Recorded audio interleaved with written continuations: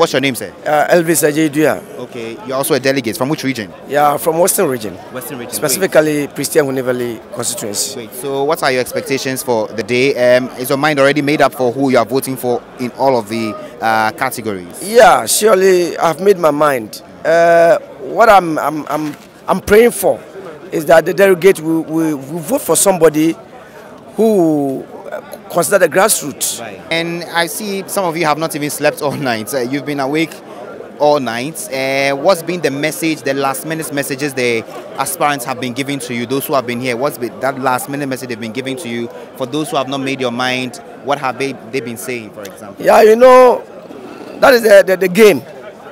Uh, whether you like it or not, you'll be convinced.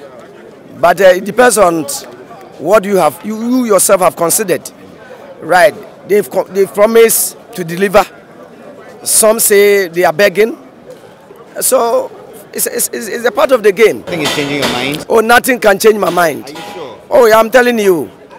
Yeah, I'm going, I'm going to vote. So it's my term that I'm going to use.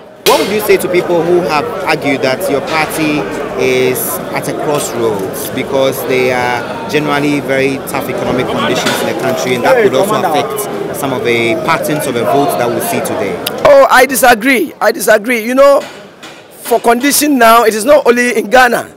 Uh, we know there are so many factors you know, uh, working against the countries. You know, so NPP, the only thing is that, yes, hardship is there. We, we, we, can, we cannot deny. But still, the party is strong. We need to come together as, as, as people. We need to, we need to uh, uh, speak to people, explain things to people.